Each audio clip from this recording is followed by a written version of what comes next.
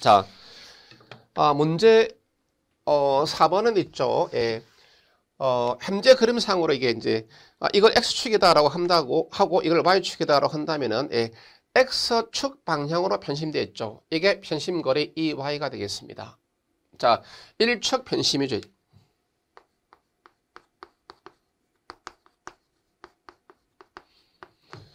아, 1축, 어, 1축 편심이 되었을 때, 뭐, 시그마 맥스에 대한 이야기. 자, 어, 그냥 A분의 P에다가 1 플러스 A, B분의 6의 EX, 이렇게 들어가면, 어, 죄송, 예. 자, EY가 아니라 이때, 예. 이 거리가 예, EX가 되겠죠. 어, Y축으로부터의 거리니까 EX가 되겠습니다. 예.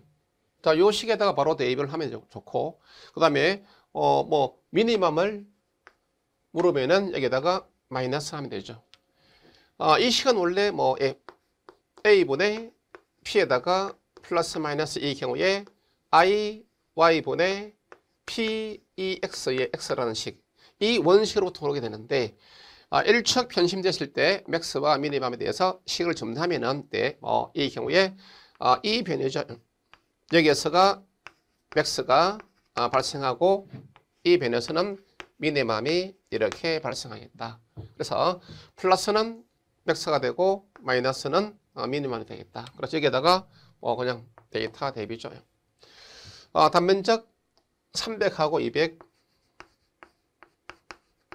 자, P, 예, 뭐 이렇게 이제 600, 어, P를, 어, P, 편심 모멘트 P가 이렇게 들어오죠. 예. 어, 600km 10의 삼성 예. 1 플러스 예.